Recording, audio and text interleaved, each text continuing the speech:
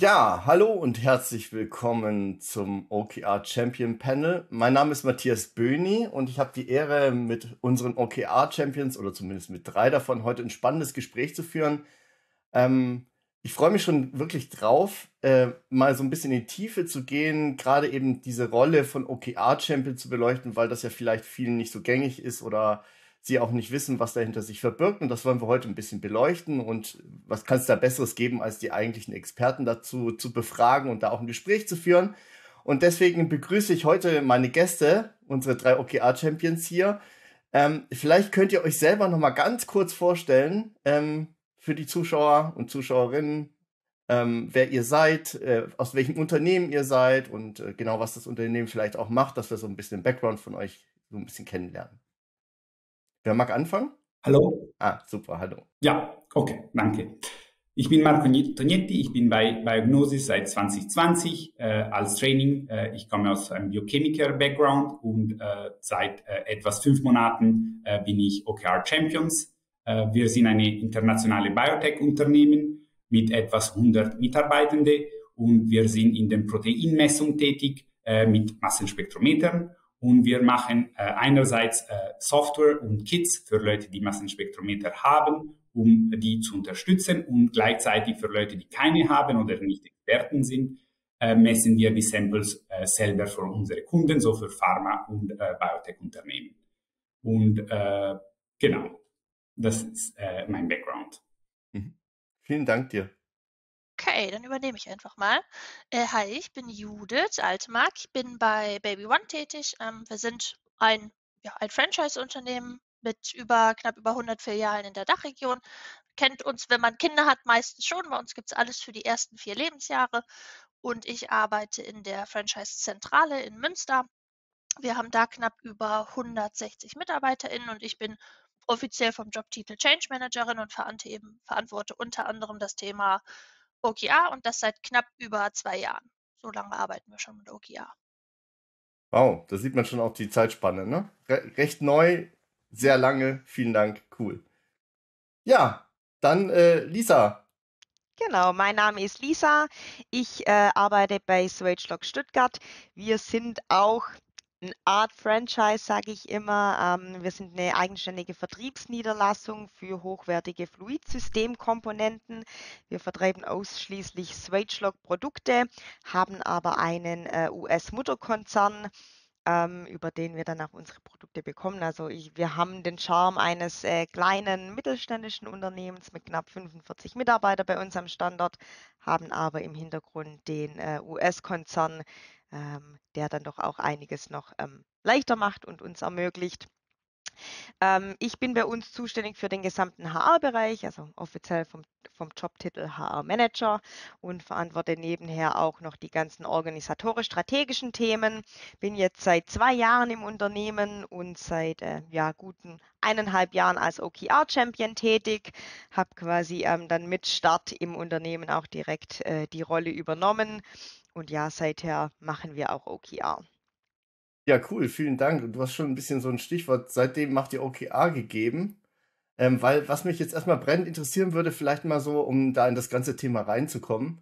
Ähm, warum hat euer Unternehmen OKR eingeführt? Was waren denn so die Motivationen dahinter? Vielleicht könnt ihr das mal so ganz kurz für unsere Zuschauer, Zuhörer äh, beleuchten. Judith, du bist ja schon recht lange dabei. Kannst du dich noch dran erinnern, wie ihr damit angefangen habt und äh, was denn da letztendlich erstmal die Grundmotivation war und wie ihr dann euch entschieden habt, dann auch äh, eben weiterzumachen und dran zu bleiben? Ja, ich musste tatsächlich gerade so ein bisschen überlegen und schon schmunzeln, so, ach, damals vor zwei Jahren. ähm, ja, es sind schon ganz viele unterschiedliche Dinge gewesen. Also wir hatten so ein paar Kern, Punkte, würde ich sagen, warum wir das Ganze gemacht haben. Und ich glaube, das ist auch wichtig, dass man sich das im Vorhinein zumindest ein Stück weit überlegt, warum man das tut, weil es ja schon einfach auch viel Arbeit bedeutet für die Organisation. Ich glaube, bei uns war Fokus tatsächlich das Wichtigste. Also wir hatten das Gefühl, alle immer überarbeitet, immer überlastet und vor allen Dingen immer an zu vielen Themen gleichzeitig dran. Also mhm. es gab so viele parallel laufende Projekte, die ganzen Abteilungen, alle hatten auch irgendwie unterschiedliche Themen, an denen sie gearbeitet haben und wir haben uns da super schwer mit getan, wirklich mal zu gucken, was steht denn für uns als Organisation jetzt eben im Fokus? Was wollen wir denn erreichen? Und das eben auch miteinander, errei also miteinander erreichen, weil es eben viele Projekte gibt, die ja auch nicht nur von einer Abteilung getrieben werden, sondern eben verschiedene Leute brauchen. Ja. Und da brauchten wir irgendwas, wo wir sagen konnten, das sind jetzt unsere Ziele für dieses Quartal als Organisation und für uns als Abteilung. Und, und ich glaube, das ist so ein bisschen der zweite wichtige Punkt, die dann miteinander in irgendeinem Prozess abgestimmt werden. Also wir brauchten eben dazu auch nicht nur die Struktur, sondern dann auch den Prozess, der uns hilft, wirklich zu gucken, was sind unsere Ziele, was wollen wir erreichen und wie sprechen wir darüber? Wer spricht wann mit wem darüber, dass man eben auch nicht zehn verschiedene Meetings irgendwie hat, die eigentlich alle das Gleiche machen, sondern eben, so wie wir es jetzt haben, eine klare Struktur in einen gegossenen Prozess, der jetzt für alle auch klar ist. Wann wird über Ziele gesprochen? Wer spricht wann mit wem über Ziele? Dann committen wir uns und dann läuft das Quartal auch. Ich glaube, das waren so Fokus, Struktur, Prozess, würde ich sagen, so die wesentlichen Punkte, warum wir es mal, mal eingeführt haben. Cool, super. Wie, wie, wie war es bei den anderen? Ähm, Marco? Vielleicht, weil das so eine gute Zusammenfassung du äh, schon gemacht hast. Äh, das war genau den, äh, wieso wir OKRs eingeführt haben. Wir sind sehr stark gewachsen in die letzten Jahre. Wir waren noch eine Startup äh, kurz davor und damals in einem Startup alles läuft sehr, sehr glatt, ist ganz einfach zusammenzuarbeiten, weil man hat ein Ziel und alle arbeiten dran. Und wenn wir dann so gewachsen sind, äh, die Pro Prozesse, die man hatte, haben nicht mehr so geklappt, wie man gerne hätte. Äh, und eine der Hauptthemen war wirklich, wie unterschiedliche Abteilungen äh, zusammen absprechen, äh, um dann ein gesamtes Ziel äh, zu erreichen. Und das war äh, mit die, die vorherige Planung, das wir hatten. Das war einmal im Jahr, das war viel zu wenig und viel zu wenig agil und zu wenig kundenorientiert schlussendlich. So, das war der Haupt, äh, mhm. Hauptgrund, um OKR einzuführen. Also Kundenorientierung höre ich gerade raus, ist nochmal so ein neuer Aspekt, ne, den man da noch zu Judith hinzufügt. Bei euch ist es wahrscheinlich auch so, Judith, aber jetzt nochmal so in der Zusammenfassung. Äh, Lisa, äh, wie war es denn bei euch?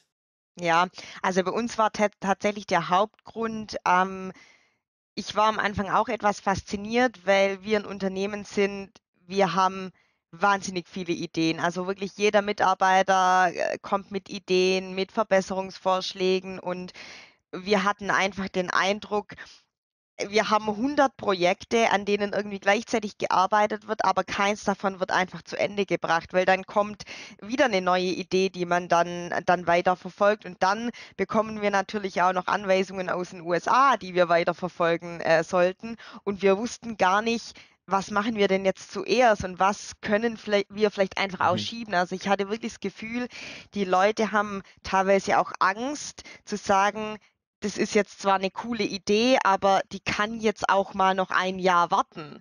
Also da haben die sich wahnsinnig schwer getan und die sind dann parallel gelaufen, was dann einfach dazu geführt hat, dass wir 100 angefangene Projekte hatten, aber keins wirklich zu Ende gebracht. Und das war dann wirklich so der Hauptgrund, wieso wir dann auch OKR eingeführt haben.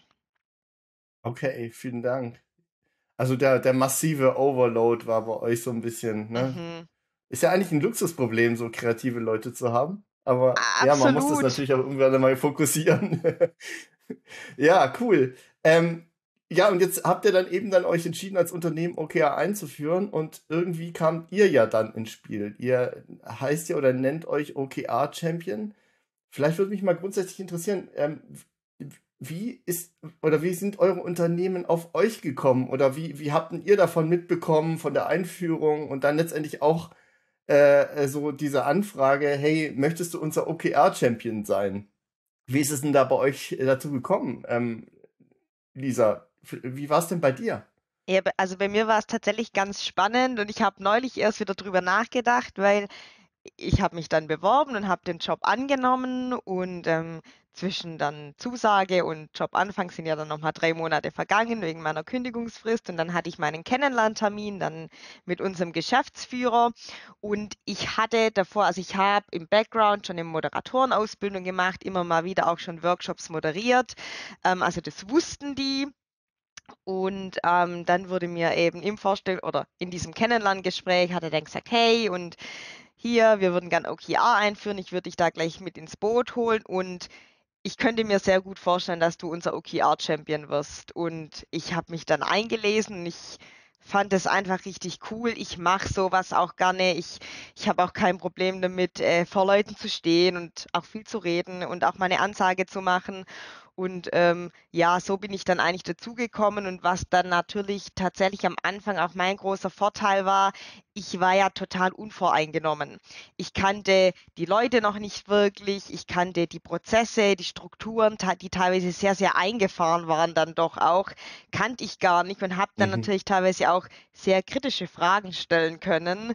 Ähm, die dann doch auch mal zum Nachdenken angeregt haben. Und so bin ich dann eigentlich in meine Rolle gekommen bist du als OKR-Champion eingestellt worden? Also, nee, ich bin als HR-Manager. Rolle? HR-Manager. Als, als HR-Manager. Genau. Okay, also HR-Richtung. Genau. Äh, Judith, wie, wie war es bei dir? Hm, ich hatte in dem Unternehmen, wo ich vorher gearbeitet hatte, schon mit OKR Berührungspunkte. Nicht so intensiv, wie ich es jetzt habe, aber ich kannte eben das das Framework, glaube ich, kann man mhm. so sagen, kannte ich ja. schon und habe dann äh, die Stelle gesehen, die ich eben jetzt auch innehabe, wo eben mit unter anderem drin stand, ähm, für OKR begeistert. Ich weiß nicht mehr genau, was drin stand, aber es kam auf jeden Fall raus. Es wird auch was mit OKR zu tun haben. Ähm, genau, und da habe ich gedacht, ach, das passt irgendwie ganz gut, habe mich dann darauf beworben und dann kristallisierte sich erst so ein bisschen langsam raus. Es geht darum, OKRs ganz grundlegend einzuführen. Ähm, mhm ja, was dann auf jeden Fall auch ein bisschen größeres Thema war, als ich es am Anfang so ein bisschen gedacht hätte. Das heißt, die OKR-Champion-Rolle war jetzt nicht von vornherein klar, dass es auf die hinauslaufen würde. Das hätte ich zu dem Zeitpunkt auch noch, glaube ich, nicht so ganz verstanden gehabt, was das denn alles dann bedeutet. Das kristallisierte sich dann so ein bisschen im Prozess raus, im, okay, wir wollen OKRs einführen, was müssen wir denn dann tun? Wen braucht es denn dann? Das war lange klar, dass ich das irgendwie mache, bis wir es dann aber irgendwann auch OKR Champion genannt haben. Das hat ein bisschen gedauert. Ja, über die Inhalte tauschen wir uns gleich nachher nochmal ein bisschen aus und die Aufwände. Ja. Ich muss schon ein bisschen schmunzeln, aber das, da kommen wir gleich später nochmal dazu. Äh, Marco, bei dir, wie bist du dazu gekommen, äh, dass du auf einmal dann, hey, unser OKR-Champion, mach das mal? So, ich muss ehrlich sein, äh, vor fünf Monaten oder vielleicht sechs Monaten wusste ich nicht mal, was OKR eigentlich heißt. Also ich war wirklich in Forschung tätig und dann wir wollten OKRs einführen in unsere Firma und wir haben nach, äh, zuerst nach jemandem äh, außerhalb die Firma gesucht und dann äh, das hat nicht geklappt. Deswegen hat man dann sozusagen kurzfristig nach einer Lö internen Lösung gesucht und die haben dann mir gefragt, ob ich das äh, machen möchte. Äh, ich glaube, weil ich ziemlich gut am Koordinieren mit unterschiedlichen Abteilungen war. Und äh, dann habe ich mich eingelesen und habe ich äh, ziemlich schnell festgestellt, dass es sehr spannend ist und dass es auch äh, wegen was Lisa gesagt hat, wirklich ein spannendes Thema und etwas, das uns auch viel bringen könnte, äh, genau für diese Projekte, dass man immer startet und nie endet. Und äh, äh genau, deswegen dann habe ich äh, die OKR-Ausbildung äh, bei Murakami äh, fertig gemacht und dann äh, zusammen mit Matthias habe ich wirklich dann auch äh, die, äh, ein, die Biognosis geholfen und Murakami geholfen, den OKR-System einzuführen. Und äh, ich war am Anfang so 60 Prozent äh, noch in Forschung tätig, aber seit äh, Anfang März, ich bin jetzt als Chief of Staff, so ich arbeite äh, zusammen mit den, unserem CEO Oliver, äh, um ihm äh, wirklich 100 Prozent zu helfen mit OKRs, aber so auch äh, strategisch und äh, mit den Diskussionen mit den unterschiedlichen Investoren. Ja, vielleicht bleiben wir da gleich mal so die Rolle OKR-Champion, Aufwände, Inhalte und so weiter. Du hast es ja schon jetzt ein bisschen so anklingen lassen, Marco. Ähm, du, du, das ist ja jetzt fast bei dir, wenn ich so richtig verstehe, fast ein Fulltime-Job. Zumindest jetzt in dieser Einführungszeit, ne? Genau, es war äh, vielleicht geplant war 40 Prozent, aber tatsächlich in die, so, in die Phase, in die Planungsphase und Rollout-Phase äh, war dann wirklich 100 Prozent. Äh, dann vielleicht gab ein Monat, wo man fast nichts für die OKRs gemacht hat. Äh, das war auch sozusagen ein mhm. Problem, weil man muss sozusagen immer dranbleiben, am meisten am Anfang, um sicherzustellen, sozusagen, dass Sachen auch geschehen. Äh, genau, deswegen mhm. ich, ich fand es äh, auch sehr schwierig, diese 60-40, die zwei Tätigkeiten äh, zusammenzuführen und beide wirklich gut dann zu tun. Deswegen, ich finde die Lösung, dass man 100 Prozent das auch tun kann, äh, auch ein, eigentlich eine bessere Lösung schlussendlich. Mhm. Also du hast es ja schon angesprochen, du bist quasi auch den Leuten hinterhergelaufen, hast geguckt, dass der Prozess quasi läuft, ne? weil äh, ja, OKRs formulieren oder so oder Workshops moderieren. Das hattest du ja schon gesagt, äh, Lisa.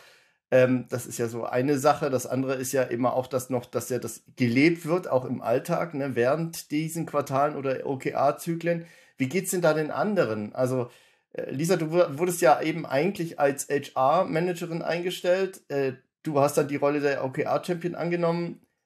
Wie ist denn das bei dir mit den Aufwänden und, und so generell so, äh, ja, als OKR-Champion? Ist das so aufgegangen, wie du das vorgestellt hast? Oder war es mehr oder weniger? Oder hm, also am Anfang in der, in der Einführungsphase war es natürlich schon sehr, sehr viel, was ich da an Zeit auch reingesteckt habe und ähm, teilweise auch wirklich den Leuten hinterherrennen musste und immer wieder auf die Finger ähm, klopfen. Klar, die waren das natürlich einfach nicht gewohnt. Ähm, in der Zwischenzeit hat sich aber ganz gut eingependelt. Man muss aber dazu sagen, mein großer Vorteil ist bei uns, ähm, ich sitze bei uns mit im Management und kann dann, wenn wir dann unser OKR Management Meeting haben, ich schaffe es Gott sei Dank ganz gut, dann auch mal in die Rolle des OKR Champion zu, zu ähm, schlüpfen und wieder sagen, hey Leute, bitte haltet euch an die Agenda, weil sie dann doch ab und zu mal abdriften ähm, und dann mhm. wieder über ganz andere Themen sprechen, die absolut jetzt nichts ähm, im Termin zu suchen haben. Und ich schaue schon auch, dass ich, dass ich ab und zu mal in Termine von anderen Abteilungen reingehe, auch mal in, in, bei einem Teamlead in, in das Meeting mit reingeht. Aber das funktioniert natürlich auch deswegen ganz gut, weil wir eben nur 45 Mitarbeiter sind. Also würde ich jetzt m, im HR-Bereich ein Unternehmen mit 200 Leuten betreuen und noch OKR-Champion sein, weiß ich nicht, ob es so gut funktionieren würde. Und, und die anderen Führungskräfte im Management, die können das auch super unterscheiden. Also wenn du in die Rolle OKR Champion wieder reinschlüpfst und dann wieder quasi die HR-Managerin bist.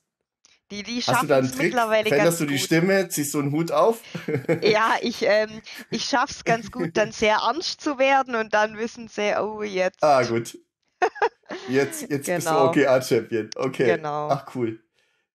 Judith, äh, bei dir? Wie, wie war das dann so?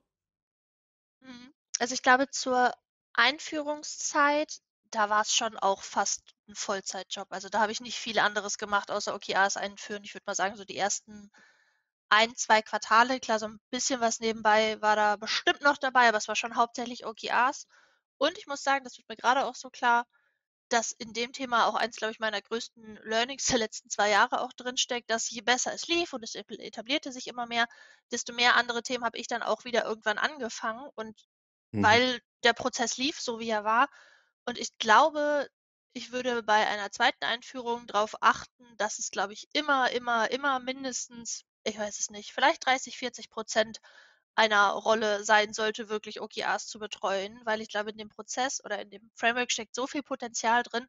Und ich glaube, wir haben so ein bisschen den Fehler gemacht, uns irgendwann zurückzulehnen und zu sagen, jetzt läuft der Prozess ja, das passt ja, so wie ja, er genau. ist, ist er ja mhm. gut. Und haben so ein bisschen außer Augen verloren, wie viel mehr wir damit noch hätten erreichen können und wie viel sich eingeschlichen hat, wo wir am Anfang viel mehr darauf geachtet haben, wirklich auch in Formulierungsarbeit und hier noch eine Schleife und das Key Result kann aber noch ein Ticken konkreter sein. Und ich glaube, das ist sowas, was so ein bisschen ich habe schleifen lassen, einfach auch, weil zu viel anderes dann doch wieder auch noch in meine Rolle dazugekommen ist. Das fällt mir gerade so auf, wo ich merke, ah, vielleicht lag es auch daran, dass der Prozess so ein bisschen auch stehen, nicht stehen geblieben ist, aber eben sich nicht mehr in dem Tempo weiterentwickelt hat, wie natürlich am Anfang, als wir es eingeführt haben. Mhm. Ja, du hast, du hast schon auch wieder mir, mir eine super Vorlage gegeben. Das wäre jetzt nämlich mal so die nächste Frage, die mich äh, so brennt bei euch interessieren würde. Die OKR-Einführung selber. Also, äh, äh also eine Sache war ja eben, dass ihr als OKR-Champion dabei seid. Du hast es ja schon ein bisschen anklingen lassen, Judith, glaube ich, dieses ähm, OKR-Champion, eine dieser Schlüssel, also dass es halt jemanden geben sollte, der sich da halt auch eben intern voll darum kümmert. Habe ich dich da richtig verstanden? Oder der dann auch die Zeit dafür bekommt?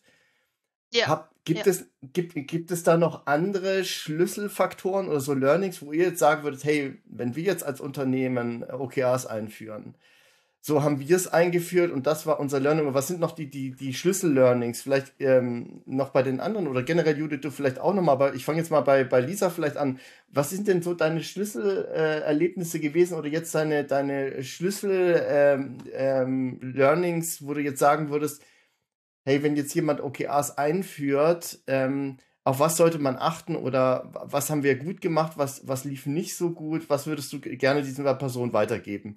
Bei einer guten Flasche Wein zum Beispiel. Also ich würde auf jeden Fall sagen, wenn man OKR einführt, dann bitte richtig. Also man kann ja mittlerweile auch wirklich sehr viel mhm. googeln und ich habe auch schon, also ich habe sehr viele auch ähm, Bekannte im HR-Bereich, die sich dann auch mit solchen Themen äh, beschäftigen und da kam nicht erst einmal so, ja, wir haben gegoogelt und vielleicht testen wir das auch mal.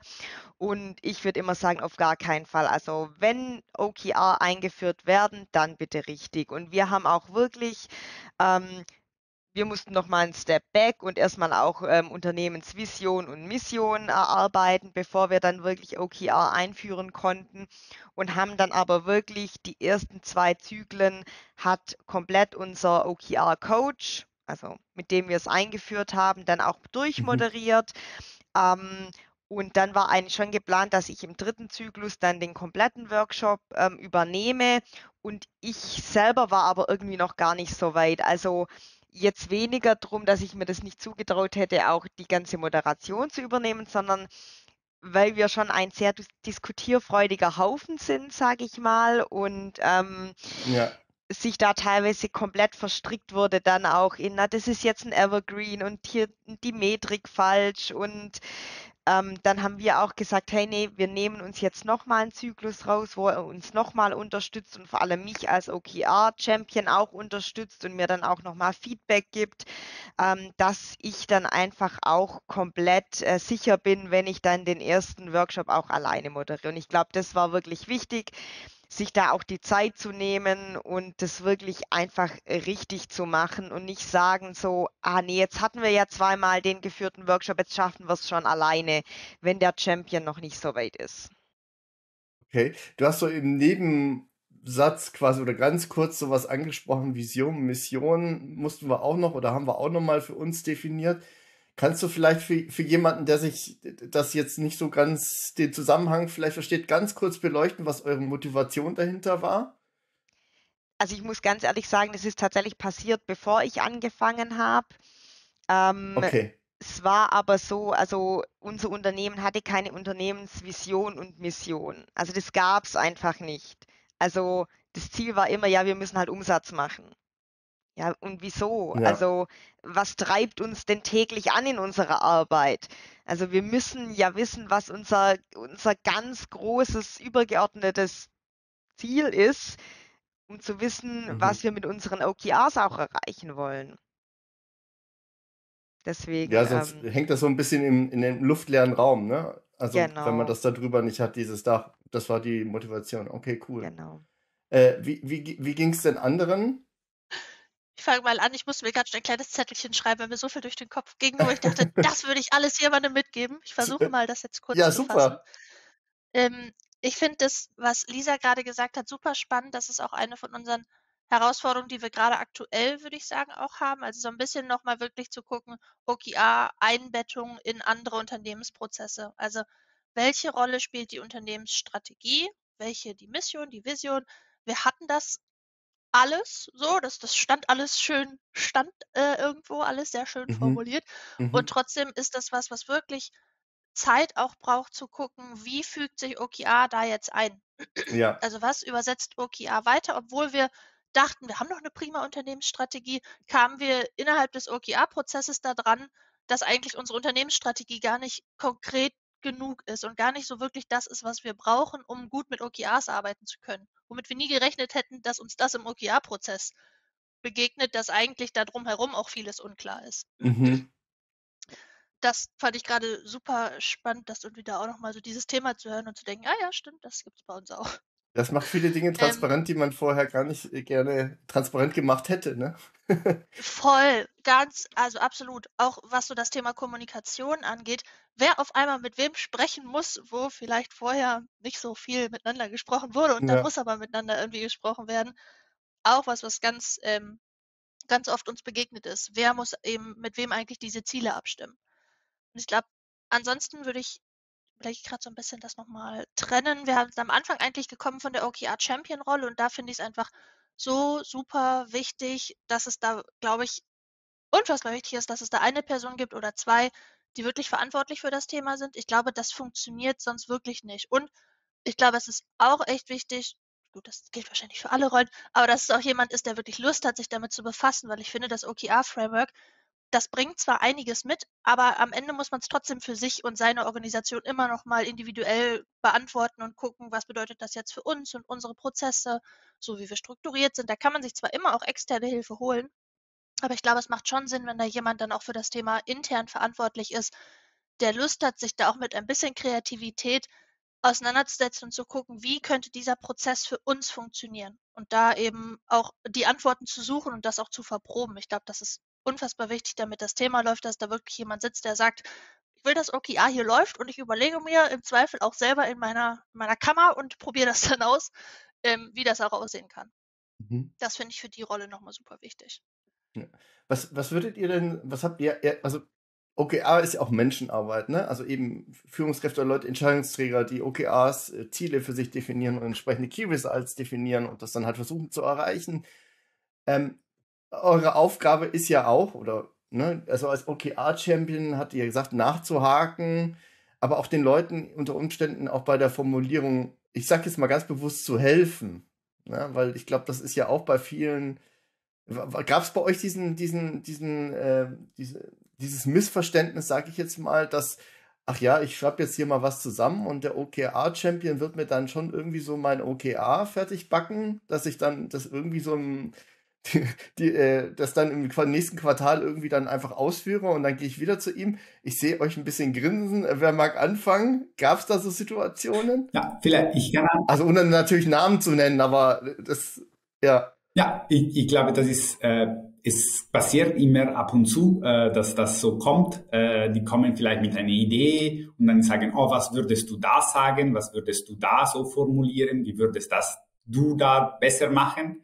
Und da ist äh, zurück zu deiner vorherigen Frage eigentlich, so was ist wirklich wichtig, um eine gute OKR-Einführung zu haben und äh, das auch dann äh, wirklich passiert. Ich glaube, das wirklich Wichtigste ist, dass das Management oder mindestens den CEO wirklich begeistert ist von dem System und dazu dann äh, der OKR-Champion muss dann dem äh, CEO dann wirklich da helfen. Aber ich glaube, das ist wirklich das Wichtigste, weil es viel Arbeit. Am meisten, wenn man das einführt, es, es bringt so viel mehr Arbeit, als man vorher nicht hatte. Man bringt es mehr, mehr Friction sozusagen, mehr, mehr Spannung zwischen den Leuten, weil die, äh, äh, ihr gesagt habt, Leute, die vorher nicht miteinander gesprochen haben, müssen jetzt miteinander sprechen und miteinander zustimmen, was wir jetzt tun zusammen. Und das bringt dann zu Spannungen, die man dann auch zyklisch neu äh, sozusagen anfeuert, weil man hat das, diesen Zyklus, das ist, äh, wir haben das jede vier Monaten. Äh, und das ist dann schlussendlich ist wirklich wichtig, dass das Management sagt,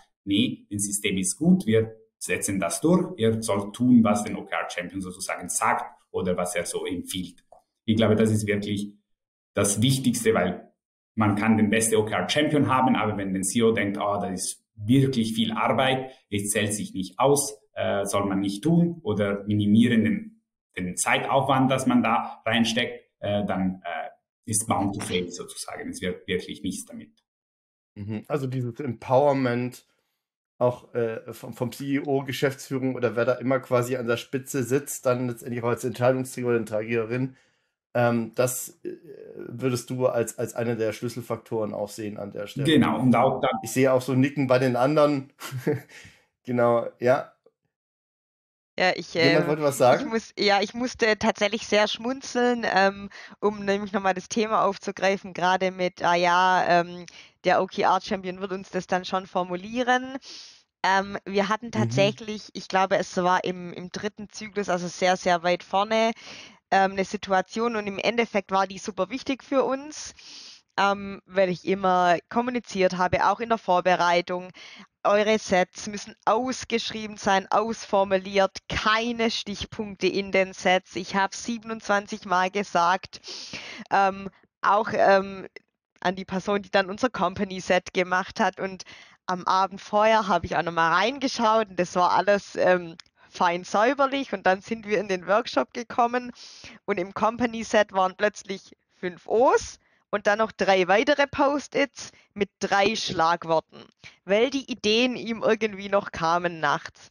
Was natürlich dazu geführt hat, dass wir uns in endlosen Diskussionen verstrickt haben, ähm, zu keinem guten Ergebnis gekommen sind, weil natürlich der Fokus nicht da war. Und auch diese mhm. Stichpunkte, so, also da stand dann Nachhaltigkeit oder weiß ich nicht, also Riesenbegriffe.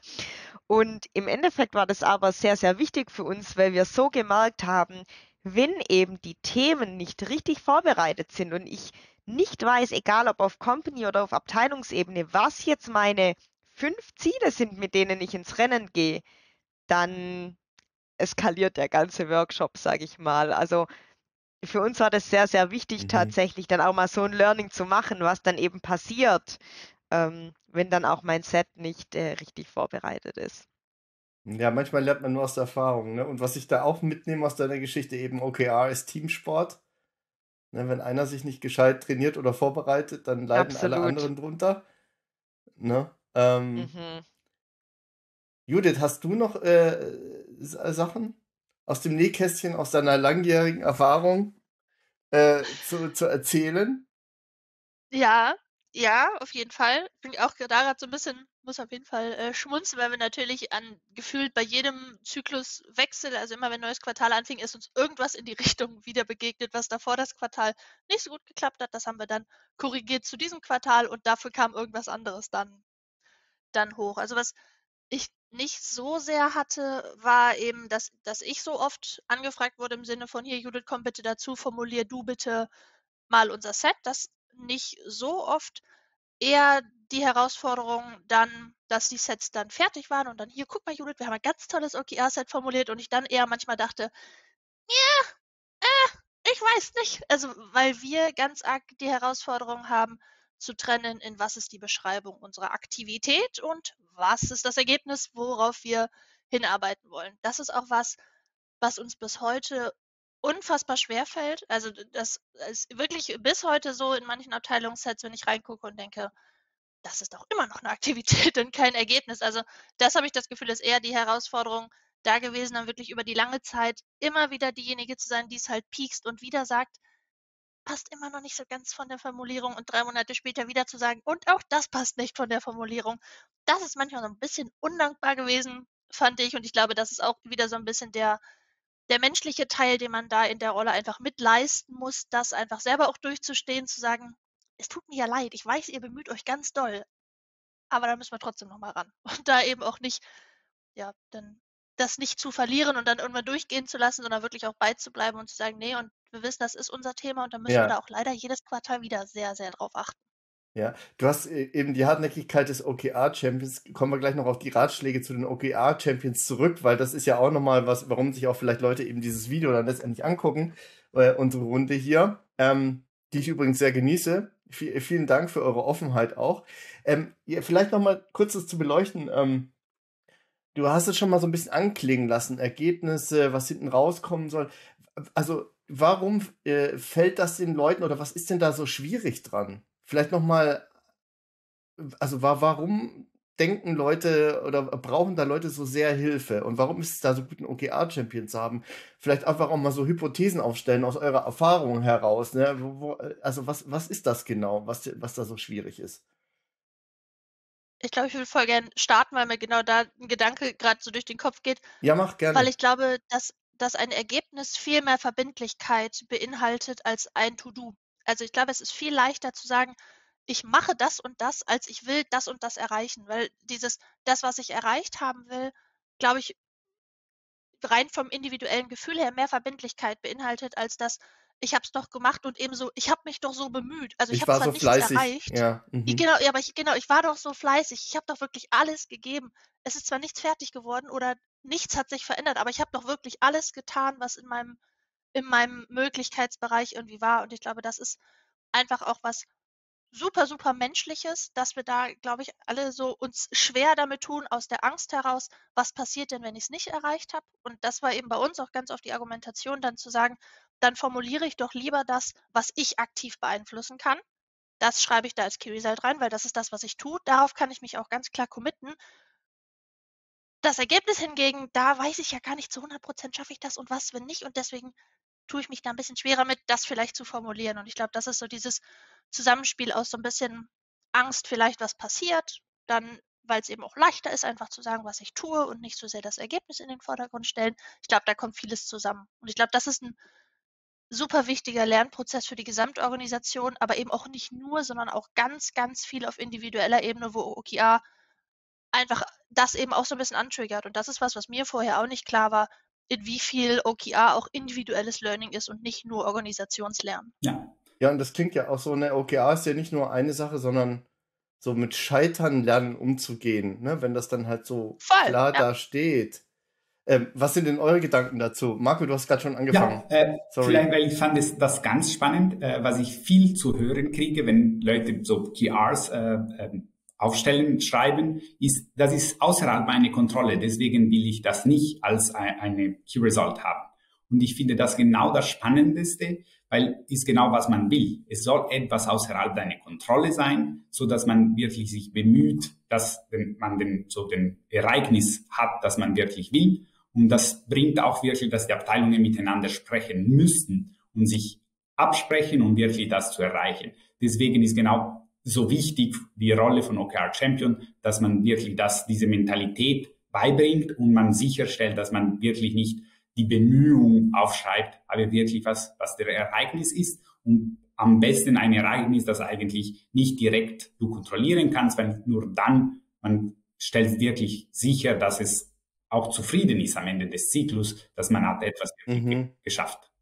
Also so quasi als Mutmacher, ne, so von den No-Brainer-Sachen und den To-Dos ein bisschen hin zum, das ist jetzt ein bisschen herausfordernd. Ich weiß nicht, ob ich es schaffe, aber ich krieg's jetzt, wir probieren es jetzt einfach mal, ne, das, das auch da äh, den Leuten zu helfen. Ähm, wie sieht es sieht's bei dir aus, Lisa? Ja, also ich glaube tatsächlich so ein, ein ganz großes Thema ist einfach dieses, also ich hatte schon oft das Gefühl, wenn ich danach immer gefragt habe, aber was wollt ihr denn? Also, dass man, Mhm. also dass meine Führungskräfte zwar ganz viele Steps, also To-Dos haben, die sie jetzt irgendwie machen wollen, das, was auch in ihrer Macht liegt, was sie jetzt quasi heute anfangen können und sie wissen, irgendwie in, in zwei Mhm. Wochen ist es dann erledigt. Aber was dann wirklich am Ende auch der gewünschte Endzustand ist, da haben sie sich wahnsinnig schwer damit getan, das einfach auch auszusprechen. Also einfach mal dieses auszusprechen, ich will XY. Also ich weiß, woran, also woran es wirklich liegt oder lag, ich weiß es nicht, aber ich kann mir schon auch vorstellen, es geht so, so in die, ich glaube, in die Richtung auch was, was Judith gesagt hat, so wirklich so dieses, auch dieses Commitment dafür. Ich, ich stehe jetzt da dafür ein und ich weiß vielleicht auch noch gar nicht, welche ganzen To-Dos da dahinter stecken. Ähm, ist, glaube ich, sehr, sehr schwierig für manche. Ja, ja, ja, in dieses, in dieses Mindset reinzukommen. Mhm. Ähm, was würdet ihr denn einem äh, jemanden äh, raten, der jetzt OKR, also der sich überlegt, jetzt zum Beispiel OKR-Champion zu werden oder quasi so wie du schon im Einstellungsgespräch gesagt wurde, hey, du machst jetzt OKR-Champion. Ähm, wir haben das ja vorhin beleuchtet, ein bisschen Unternehmen, Einführung OKR, äh, was sind so die Schlüsselsachen für ein Unternehmen, worauf sollten sie, worauf sollten sie achten?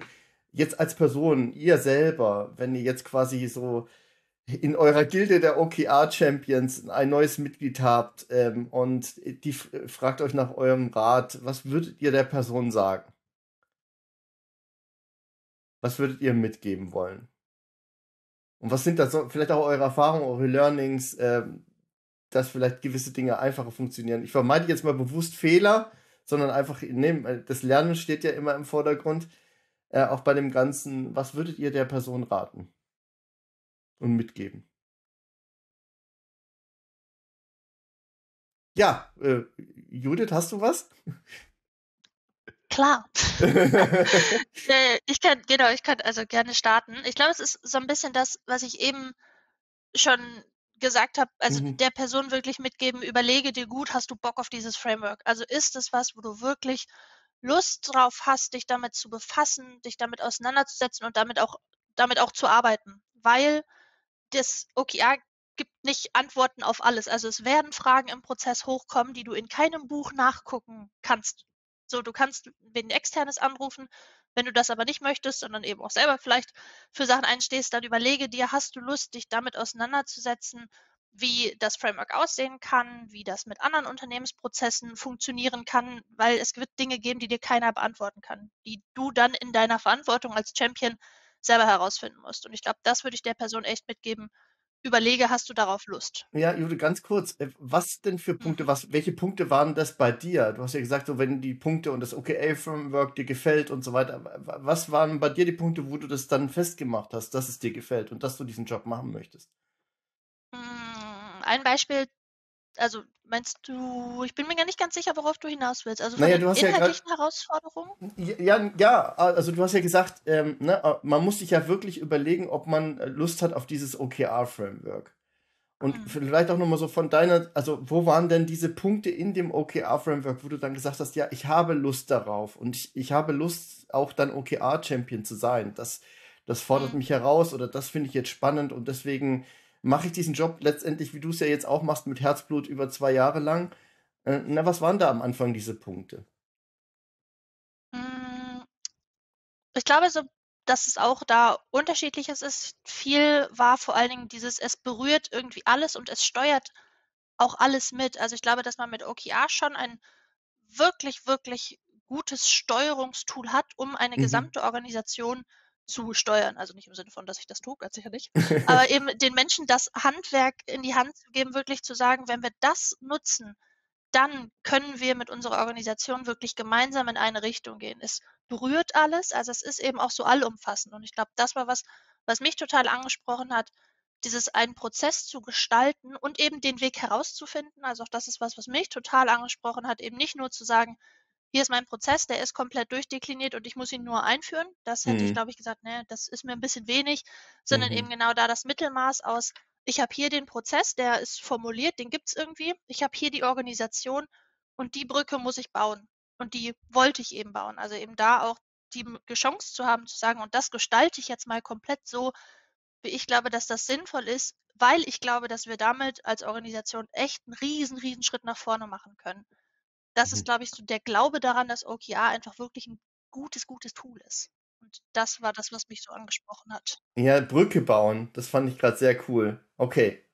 So, und, und, und, und ähm, ihr habt schon mal so ein bisschen angesprochen, Hartnäckigkeit und so weiter. Gibt es noch andere Punkte, wo du sagst, Judith, äh, das würde ich gerne dem mitgeben, dass du einen richtigen Eindruck davon hast und, und was auch wichtig ist, als OKR-Champion zu tun oder auch zu sein und vielleicht auch an sich selber zu arbeiten? Mhm. ja, was, was ich immer wieder zum Tool auch so mitgebe, OKR ist kein Happiness-Tool. Also es wird sehr viele Menschen geben, die das ganz blöd finden ähm, Mhm. und da vielleicht nicht so Lust drauf haben und da sich einfach im Klaren darüber sein, dass es aber eben trotzdem meine Rolle ist, zu sagen, ja, wir machen es trotzdem. Also ich weiß, du findest es vielleicht nicht so cool und das ist auch total okay, du musst es nicht cool finden, Mhm. aber mach es bitte trotzdem. Und das, also damit eben umzugehen, das kann herausfordernd sein. Und ich glaube, da habe ich wirklich in der Organisation, wo ich bin, unfassbar viel Glück schon gehabt, weil die Akzeptanz von vornherein einfach super, super groß war. Ich glaube aber, das kann in anderen Organisationen auch ganz anders aussehen mit dem Gegenwind. Und das muss einem, glaube ich, klar sein, dass einem da schon viel begegnen wird, gerade wenn die Leute nicht so Lust haben und vielleicht auch das Thema Transparenz gar nicht so cool finden, dass man da wirklich viele Herausforderungen auch mit haben kann, das einfach damit umzugehen. Mhm. Ähm, Marco? Ja, ich, ich finde sehr, sehr, sehr, ein sehr cooles Thema. Äh, genau, wieso, wie wählt man ein guter OKR-Champion und was für Eigenschaften er haben braucht sozusagen. Ich bin mit Judith völlig einverstanden. Man muss wirklich begeistert davon haben, weil man wird praktisch täglich gefragt, macht das wirklich Sinn? Oder man hinterfragt irgendeinen Schritt davon. Es gibt viele Schritte und die fragen, wieso muss man das genauso tun? Äh, es ist ja mühsam, man könnte das viel einfacher machen und deswegen man muss wirklich so immer vorbereitet sein, äh, dem Framework und OKR nicht zu verteidigen, aber zu erklären äh, und das mehrmals. Äh, man denkt, ich, hab, ich musste lachen, wenn Lisa hat gesagt, Äh, ich habe das 27 Mal gesagt. Ich finde lustig, dass er es gezählt hat, aber ich, ich finde, manche Sachen habe ich 100 Mal schon gesagt und es ist immer noch nicht 100 Prozent angekommen und ich werde das auch wahrscheinlich noch 1000 Mal wiederholen müssen. Äh, aber genau deswegen, man muss wirklich glauben und begeistert sein von dem System und ich bin das wirklich auch und vielleicht zu wieso ich das so toll finde. Ich finde, es ist wirklich ein gutes System, um wirklich Teamarbeit zu schaffen. Und ich glaube, das ist auch, was auch mich wirklich zugesprochen hat, ist, wie erreichen wir als Unternehmen, äh, wir haben 100, 100 Mitarbeiter, dass wir wirklich zusammen als Unternehmen etwas schaffen, anstatt als kleine Teams, das vielleicht gegeneinander äh, spielen. Und ich finde das äh, wirklich der Grund, wieso ich OKR mag, ist wirklich, dass man schafft als Team wirklich etwas Größeres. Weil wenn wir alle alleine etwas tun, wir werden nie so viel erreichen, wenn wir alle in die gleiche Richtung ziehen, sozusagen. Ja, ja. Super. Lisa? Hast Absolut. also, ja, also äh, ich würde auf jeden Fall den, also wenn mich jetzt hier jemand fragen würde, hey, was, also was würdest du mir denn mitgeben, ähm, wenn ich jetzt OKR-Champion werde? Ich glaube auf jeden Fall, also das geht dann auch wieder in die Richtung, was Judith gesagt hat. Zum einen, man muss schon, also man muss erstmal Bock drauf haben und dann schon mhm. auch am Ball bleiben. Also ich glaube, es ist ganz, ganz wichtig. Das ist einfach ein riesen Change-Prozess.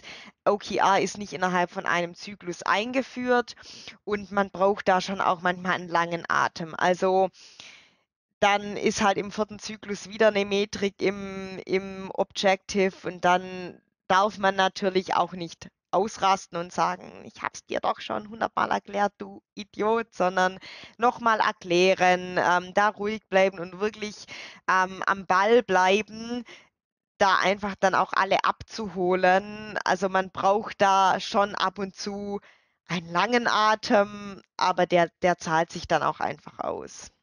Mhm. Ja, das ist, das ist gut zu wissen. Also ähm, wenn ich das mal nochmal so äh, zusammenfassen darf, also auch dieses, ne, was mir noch, also lange Atem, Hartnäckigkeit, aber so ist auch so bei euch angeklungen, diese, so ein starkes Warum zu haben, ne? Immer wieder den, die Motivation, die, die Gründe dahinter zu erklären und nicht einfach zu sagen, naja, es ist halt so, ne? Sondern halt, okay, aber das sind die Gründe dahinter.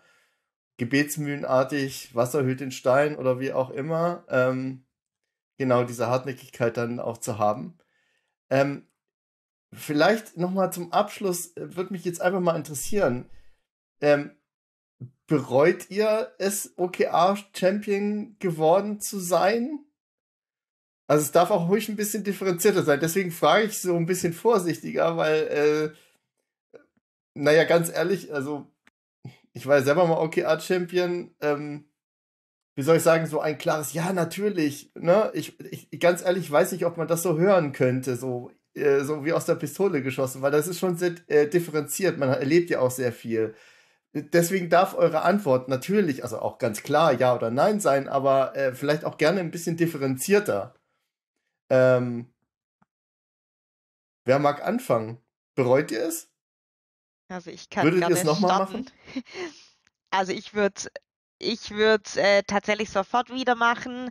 Ähm, ich muss aber Ja. auch wirklich fairerweise dazu sagen, ich habe einfach oder wirklich ein Management-Team, das komplett geschlossen hinter der OKR-Einführung stand und mit denen ich einfach sehr, sehr gut zusammenarbeiten kann und die mir natürlich den Start als OKR-Champion auch sehr, sehr leicht gemacht haben. Also ähm, mir wurde es nie übel genommen, auch wenn ich mal dem Geschäftsführer ins Wort gefallen bin, gesagt habe, äh, Schluss, Ende der Diskussion jetzt. Also ich wusste genau, das hat keine Auswirkungen auf meinen Job oder auf irgendwas, ähm, was es mir natürlich ja. sehr, sehr ähm, leicht gemacht hat. Also in meinem Unternehmen würde ich es immer wieder machen.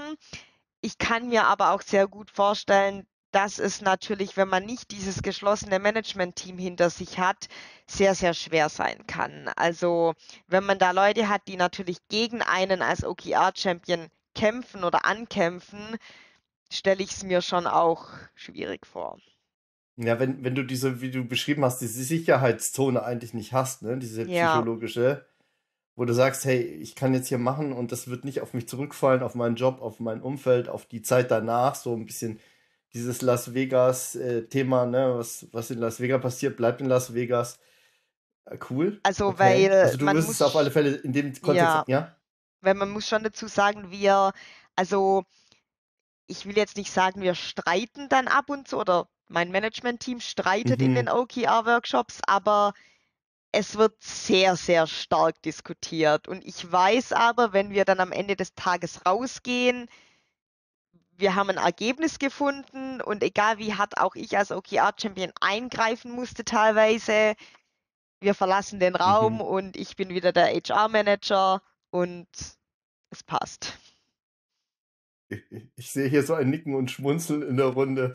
Ähm, ähm, ja, Marco, äh, wie, sieht's, wie ist es bei dir? Bereust du es? Würdest du es nochmal machen? Nein, ich betreue das nicht. Ich würde es nochmal machen, auch weil schon mit die zwei Zyklen, eigentlich, wir haben nur einen Zyklus abgeschlossen, so eigentlich ganz, ganz frisch immer noch. Aber ich, mhm. ich könnte schon sehen, wie man viel mehr erreicht hat. Wir haben geschafft in diese Einzyklus-Sachen, dass wir vielleicht in ein, ein Jahr gebraucht hätten.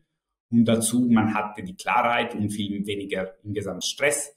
Logischerweise, es war auch äh, wahnsinnig viel Arbeit. Ich dachte, es wäre sozusagen die OKR-Champion-Rolle wäre einfacher, äh, aber es war eigentlich viel, äh, man musste sich viel persönlich einsetzen, äh, viel erklären, viel langatmen. Äh, das äh, hatte ich nicht erwartet, so viel. Äh, ja, aber ich bereue das nicht. Ich, ich würde es doch nochmal machen, weil ich glaube, es ist wirklich eine gute, gute Sache zu tun und äh, wir brauchen, brauchen das immer noch ganz viel deswegen. Mhm. Vielen Dank. Judith? Ach, ich überlege, wie ich es anfange, weil als du die Frage gestellt hast, habe ich gedacht, wie schön mal einmal sagen zu können, ich bereue nichts. Und dann kam ähm, ich mit dem zweiten Satz. Ne? Alles gut, ich habe gedacht, das sage ich trotzdem. Ähm, nee, weil, also ich habe mich in ganz vielen, was Lisa gesagt hat, wiedererkannt. Ja. Ich würde es auf jeden Fall wieder machen. Ich glaube, dass es natürlich auch sehr davon abhängt, in welchem Kontext passiert das Ganze. Aber auch so, wie ich es erlebt habe, mit super viel Rückenwind. Also einfach, wo das Management ganz klar gesagt hat, wir wollen es einführen, das ist deine Aufgabe, Judith, du machst die Ansagen und wir machen das so, wie du uns das jetzt sagst. Wow. Also dieses mhm. Spielfeld zu haben, das ist natürlich was, was unfassbar cool war und richtig, richtig Bock gemacht hat. Und ich glaube aber, dass das eben auch mit der Grund ist, warum ich es nochmal machen würde. Weil eben man oder ich in dem Fall das auch so ausleben durfte und einfach viel gestalten durfte. Und ich glaube, wenn man das hat, dass man sagt, die Organisation will das wirklich machen. Wir sind bereit, da, da auch die Konsequenzen von zu tragen, weil OKR wird ja was verändern. Das ist auf jeden Fall so und das muss halt allen klar sein. Aber wenn das da ist, dann glaube ich, kann man da so mega viel mit erreichen, dass ich es echt jederzeit nochmal machen würde, weil ähnlich auch das, äh, was Marco gerade gesagt hatte, man sieht auch wirklich schnell die Ergebnisse. Und dann macht es unfassbar viel Spaß, finde ich, das zu treiben und wirklich zu sehen, so in jedem Zyklus werden wir auch immer besser. Also ja, ich würde es immer noch mal machen. Ja, großartig. Ähm, das ist eigentlich äh, das perfekte Schlusswort. Ähm, wir sind nämlich schon leider äh, fast am Ende. Es bleibt mir letztendlich, oder ich, ich wollte euch auf alle Fälle nochmal vielen, vielen Dank sagen für diese sehr offene, sehr ehrliche, spannende Runde. Toll, dass ihr dabei wart. Ähm, für mich nehme ich jetzt einfach mal mit. Ich muss echt gestehen, äh, jetzt so nach den äh, knappen 54 Minuten Jetzt bin ich noch, ich auch noch viel motivierter, wieder OKR-Coach zu sein, ne, eure Energie da auch zu spüren und eure Motivation, da was zu verändern in euren Unternehmen. Ähm, also herzlichen Dank für eure Zeit. Ähm, ich hoffe eben auch an die Zuschauer, es hat euch auch Spaß gemacht und ihr konntet einiges mitnehmen und wisst jetzt vielleicht ein bisschen mehr, was OKR-Champion ist und wie man auch äh, äh, ja gut OKRs in einem Unternehmen oder einer Organisation einführt. Und ja, ich vielen Dank und ähm, bis bald.